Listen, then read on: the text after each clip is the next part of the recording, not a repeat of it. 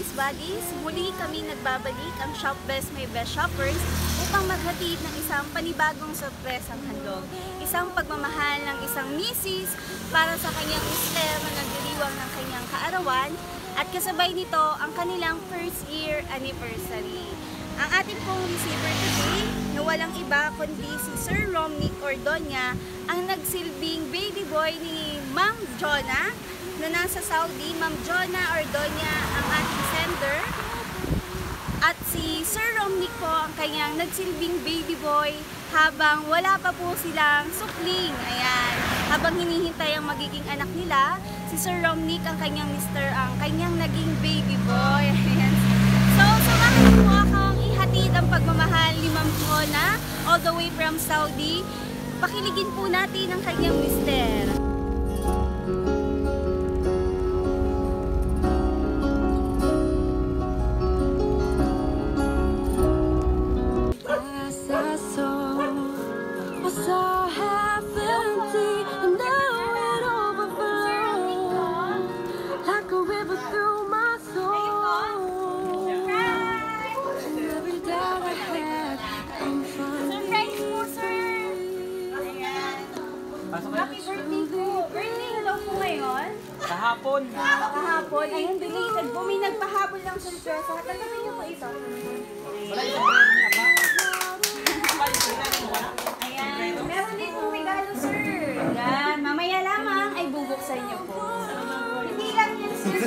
Po. Chocolates po na napaka-sweet. Nakakulan po. I love you daw po. Ayan. May isa pa po regalo. Okay lang po ba yung bag po? Para kay sir, ang ating hari today. Pinapawisan ako eh. Okay lang po, sir. Ayan po kayo, sir. Ayan. Tanggapin niyo po ang inyong chocolate. I, I love you daw po. At regalo.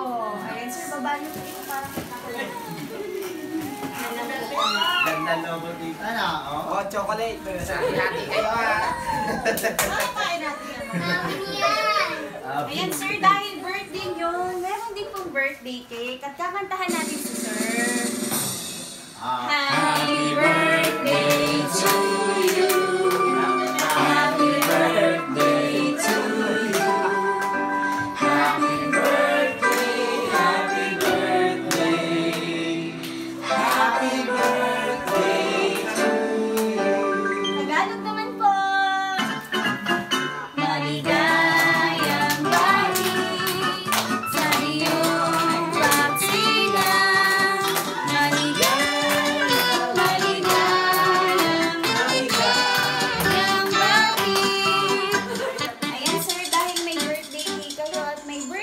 Birthday candle, may birthday wish din po. Ayan sir, pwede niyo pong sabihin, pwede niyo pong sa sarili niya na lang.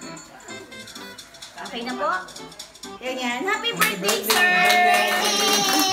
Ayan, sabi po sa birthday cake nyo, Happy birthday and one year anniversary, mahal ko. Ayan, sir. Galing po pala sa mahal niyo, sir.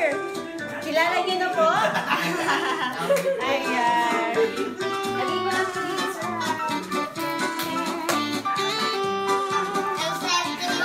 swerte sir. mo. Sabi mo babaeng gana. Ayan, sir. Buksan niyo naman po yung regalo. Ano kaya regalo niya? Ay, ano po kaya laman niya? Regalo na yan?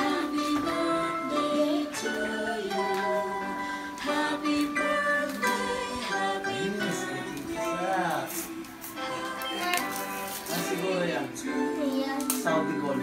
Saudi gold. Ano po kaya yan, sir? Labas niyo po, sir.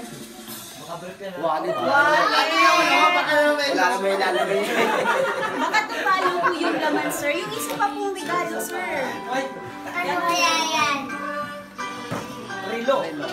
Ano po kaya? Baka sing-sing, sir. Hindi po kaya? Ayan. Tingnan natin kung ano laman, sir. Siguro ng Wallet siya pa. para naman hindi tatapon mo na lang yung pera sir. Surain niyo lang po. Sarami na yan, apa? Yan, ako. Itim na box. Ano po kayang laman? Relo. Labas niyo po, sir. Wow! Ah, wow. Sige po sir, labas niyo na po. abatot ah. Dito po sir. Yan. So, Tandahan po. Naku, may bagong relo si sir. Ayan sir. May idea na po kayo kung kanino galing, sir? Ayan po, sir. Bali, sir, hindi lang po mga regalo ang matatanggap nyo. May nais din pong ipaabot na mensahe yung nagpadala. At babasahin ko po sa inyo, sir, ah. Ayan po, sir. Sabi niya po dito, Baby boy ng buhay ko. Ang unang lalaking dumating at nagbigay ng kakaibang kaba, saya at kilig sa akin. Sa araw na ito, kahit malayo man ako sa iyo, hindi ko pwedeng kalimutan ang umpisa ng pagmamahala natin, ang araw na masakit dahil ipinaglayo tayo ng Diyos. Pero sa puso ko, sobrang lapit mo lang at daladala lagi sa bawat oras man ng buhay ko dito. Gusto ko mapasaya kita lagi at gusto ko kahit anong hirap, tukso at problema ang dumating sa atin, ito lang ang tatandaan mo. Walang bibitaw sa atin, mahal ko. Malapit na tayo magkakasama, kunting antay pamahal ko. Isipin man ng marami na sa'yo, kakaiba ang pagmamahal ko, kasi kahit anong paraan, gagawin ko basta para sa'yo. Habang wala pa tayong anak, ikaw muna ang nag-iisang baby boy para sa akin na aalagaan, pakamamahalin ko ng habang buhay. Mahal ko, asawa ko, happy birthday po. Kinikilig. May kinikilig po dito. Papatato kasi si yata. kinikilig yung bata. Ayan po, sabi po dito, mahal ko, asawa ko, happy birthday po at happy first year anniversary po sa atin. Mahal na mahal po kita at hindi po yan magbabago. Sobrang ipinapasalamat ko ang pagkakakilala ko sa iyo at maraming salamat po unang-una kay God dahil sa lahat ng dumating at natanggap kong regalo para sa akin walang katulad ang regalong ibinigay sa akin ni God at ikaw po yun, asawa ko. Sir Romney Cardonia. Ayan, sir. Ingatan mo palagi sarili mo. Mahal ko, I love you so much. Asawa ko, isang bagay lang ang meron ka na wala sa iba. Marunong kang makontento sa kung anong meron tayong dalawa. Asawa ko, I'm so very much proud of you po. Mahal na mahal po kita, baby ko. Baby boy ko.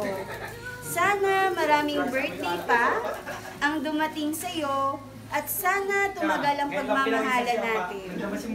In God's will, alam ko magiging matatag tayo, basta magkasama lang tayo, mahal ko. Tama na nga, naiiyak na ako eh. Basta, mahal na mahal po kita. Yan lang ang tatandaan mo, asawa ko. From Jonah, ang nag-iisang pangit at pangmumong asawa. Ayan, sir, from, from Ma'am Jonah po pala ito, ang inyong asawa, all the way from ah, Saudi. Ayan, sir, mapapanood po kayo nito mamaya. Ang magsisilbing si Ma'am Jonah, pwede niyo pong kausapin. Okay lang po yan. Isipin niyo po, kayong dalawa lang ang nandito. Ayan, sige po, kausapin niyo lang po. Ano yung napapalaga niya? Oh, sabi Ayan, magsalita sir, ka, para from sa'yo. heart to heart. Ayan, okay lang po yan. Salamat naman. Oo. Para masiyakan naman siya. Nakawala kang lang Labas yung gin niya, oh. Labas yung Sabi nga naiyak gin, oh. yung mata ko. Ako. Nayak si nanay eh. Ayan, sir, Ngayon kausapin lang niyo ako po si Ma'am nakarinig Jonah. ng babaeng ganyang magmahal. Ayaw na kami pag yan. Ata si sir. Natameme na si sir. Ay, ang sarap naman ang sir. ang mensahe niya. Sige po, sir. Kausapin niyo lang po si Ma'am Jonah. Yan lang nangyari sa buhay natin ng pisa na. May dumating na ganyan na. Ay, mahal ko. Pumunta. Diba? Kasabi ba? Labas naman yung gin niya sa katawan niya. oh. Iiyak ka lang din sa di. Pagkakain. Suotin mo na kasi yung ano mo. Sabi mo, magsalita ka kahit konti lang. Ayan, sir. Kausapin niyo na po si Ma'am Jonah. Ay, ba siya? Wala pa? Ay, ano yung nakikita niya? Ay, ano yun? Di pa kami ka. Siya. Hindi okay lang yan, sir. Dito lang kayo. Na? Sa mo Mabigat po, sir. Ilabas niyo, sir. Para hindi kayo mabigatan. Sige po, kausapin niyo si Sir Jonah. Ay, si Ma'am Jonah. Napapanood niya po yan. Hindi ka nainig? Hindi ba nainig? Parang nasampit. Wala, yun yun. Tara, nahiya siya pa talaga. Nahiyain talaga. Kasabi mo. Tagal? Ay, ang tagal. Umimik? Mamaya sa aboy na. Ayan sir, ano, habang nag-iisip kayo ah, para mabawasan yung emosyon niyo po, yung pagkagulat niyo sa kanya sorpresa, hingan po muna natin ang mga tao po dito sa paligid. Ayan. Mama po kayo? Ayan, dito po kayo, ma'am. Ayan, message niyo po sa my birthday. Ah, na magsalita yun. Dito po kayo sa tabi niya, ma'am. Dito po, sa tabi po. Bakit mo naman Wait lang. Ayan, message niyo po kay Sir Romeo. Ano, Tito, hindi ka kinanya ni Sheila, no? Wala si Sheila eh. Happy birthday, anak. Sana marami pang birthday na dumating, dumating sa iyong buhay at sana'y magbago ka naman at huwag nang masyadong mag-inom. Yun lang ang sabi sa iyong birthday. Ngayon. Akala ko madami. Kay Ma'am Jonah po, may gusto po kayo sabihin. Ah, Juna, salamat sa pagmamahal mo sa aking anak kahit siya ay ganito, laging nagiinom.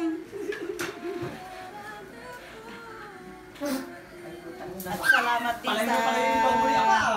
Papunta na sa kwarto ni Apoy ah. surprise mo. Akin to. At nagulat nga kami, naluha pa nga ako sa iyong mensahe. Aboy.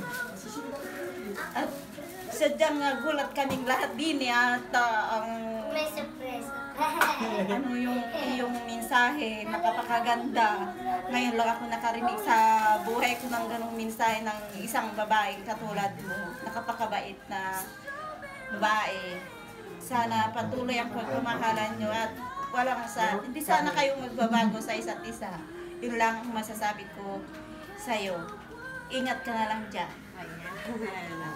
Hag yun naman po naman yung anak. Birthday. Ayan. Ayan. Sino po ang pwede magbigay ng mensahe ba? Mga kaibigan po, sir. Ayan. Ito po bata. Ay, at pamangkin niya. Ayan. Anong gusto mo sabihin kay Tito?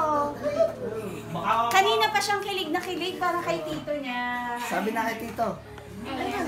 Patato, nagpatato. Nagpatato kasi kahapon ng sa bike eh. Ayan. Sino po? Kapatid ko? Ay, ano yun? Hindi siya Ay, Ay, Message po para sa kaibigan niyo, sir. Pinsan niya. Ah, pinsan. Ayan, sir. Dito kayo, sir. Ikaw naman dyan. ang gapong pinsan. Message niyo po para kay sir. Ah, Pisan, ah, happy birthday kapon. Ah, sana magbago ka na. Sana marami pang birthday na dumating sa buhay mo. Ayan, okay na po. Parang naluluha kayo, sir. Ayan, okay na po ba? Kayo po, mag-message po kayo. Ayan, okay na po. Ayan! Si sir naman po ang hinga natin ng message kay Ma'am Jonah. Ayan, so, sir, balikan po namin kayo. Kausapin niyo lang po siya, sir. Salamat.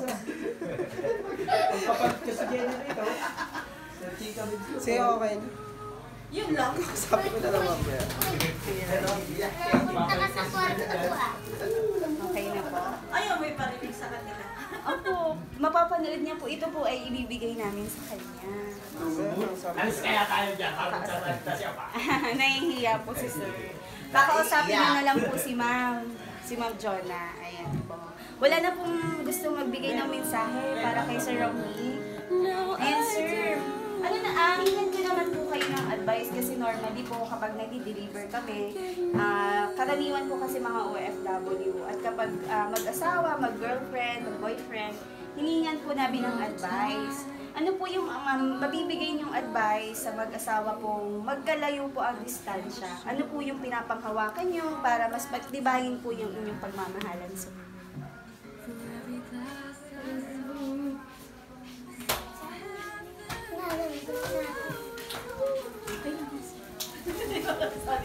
Naiiyak kasi si sir. Naiiyak siya, tapos nahihiya. Ayan. Huwag ka din dyan magpatukso, at ganun din ako, ganun din ah. Ayun. Ano po yung pinapangawakan niyo, sir? Kasi yung iba po, ang sinasabi, tiwala, ayan. Sa inyo po, sir, ano po sa inyo? Tiwala lang din. Talagang tiwala lang talaga ang nagpapatibay sa pagmamahalan. Tiwala and then love. Ayan. Ayan, sir. Kami po ay from Shop Best May Best Shoppers. Kami po ay kinontak ni Ma'am Chona upang magbigay ng sorpresa po sa inyo. Happy birthday po and happy anniversary. Bagamat nasa Saudi man po ang inyong misis, nagawa niya pong gawan kayo ng ah, ah, special na araw po. Mga regalo para iparamdam sa inyo na mahal na mahal ka po niya. Ayan, sir. Wala po kayong gustong sabihin ulit kay Ma'am Jonah? Ayan, kahit flying kiss man lang, sir, I love you. Ayan, sir, I love you man lang po sa inyong misis. I love you. Ayan, palakpakan lang namin si sir. Ayan, sir. Muli ako po ay si Richie Humira, ang ambassador of happiness and love. Kami po ang Shop Best My Best Shoppers. Everyone spread happiness and love. Bye-bye po. Bye-bye po kayo. Bye-bye. Bye-bye. Ingat dyan.